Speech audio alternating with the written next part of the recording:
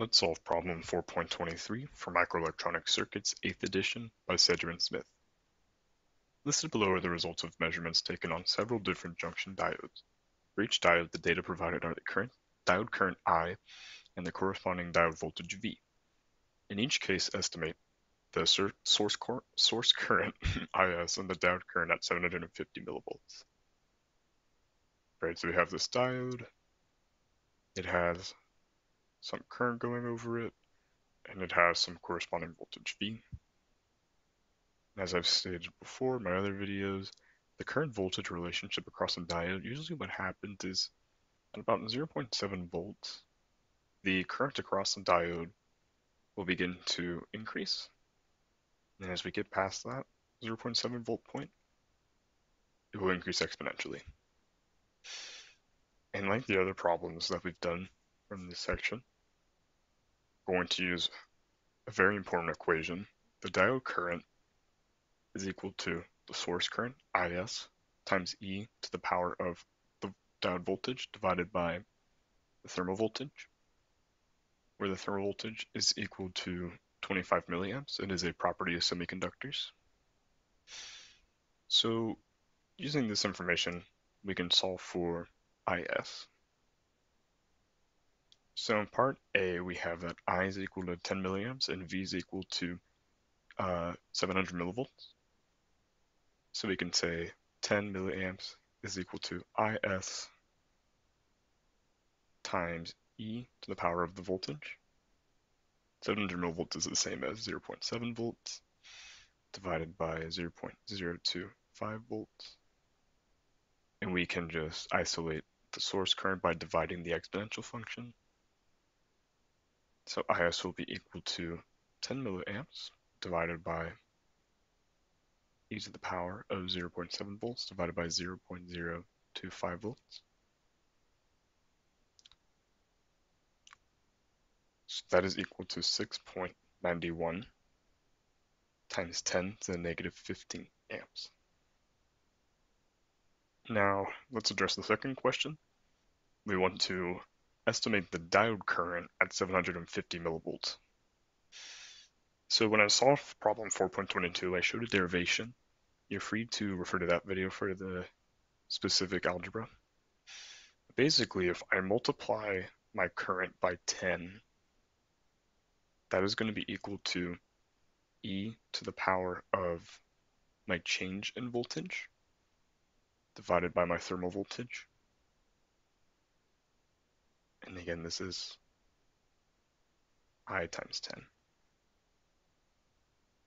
So therefore, the delta voltage is equal to thermal voltage times the natural log of 10, which is equal to uh, 60 millivolts.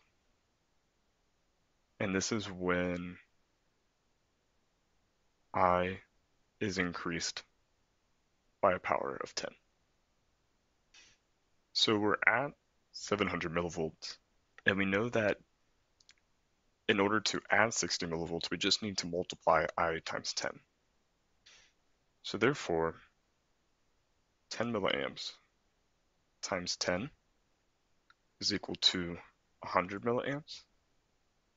And this is when V equals 700 millivolts plus 60 millivolts.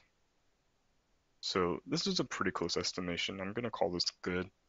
The problem does just say to estimate, not give the specific value. So we'll go ahead and say the diode current is 100 milliamps.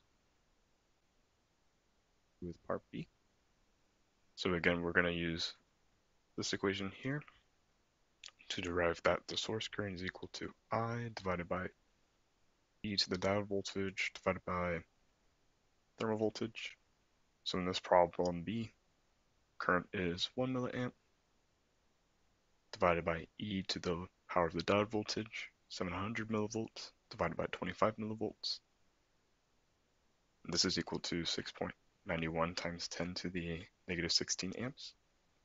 Notice how this answer is just uh, a tenth of part A. Part A was 6.91 times 10 to the negative 15.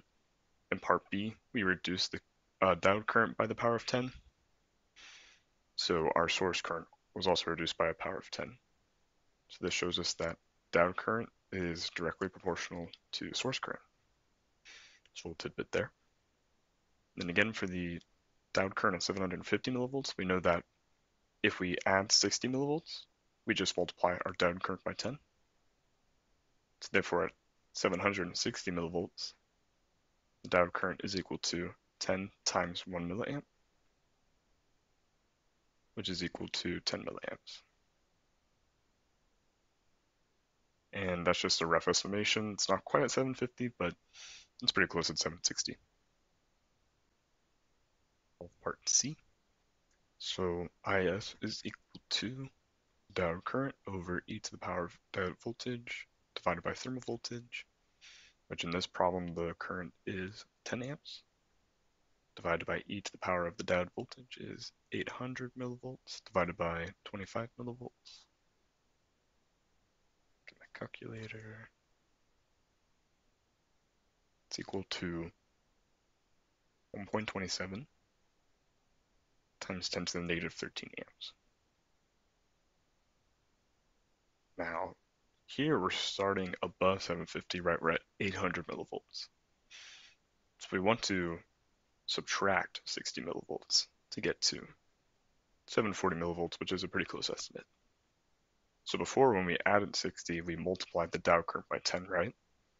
So here it's just kind of the opposite relationship. If we subtract 60 millivolts, we're going to divide the diode current by 10. So to be 10 amps divided by 10, which is equal to 1 amp. For part D, so once again, our source current is equal to diode current divided by e to the power of the diode voltage divided by the thermal voltage. Our diode current is 0.1 milliamps. Diode voltage is 700 millivolts, and we have our thermal voltage of 25 millivolts. Then let me get my calculator out.